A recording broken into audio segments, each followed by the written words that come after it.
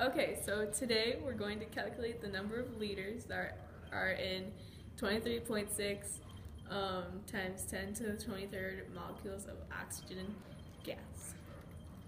Okay, so you take 23.6 times 10 to the 23rd molecules, and then 1 mole on the top, and then 6.02 times 10 to the 23rd, because that was given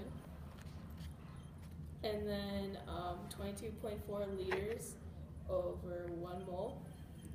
And then what you want to do is cross this out, this out, and the moles out too.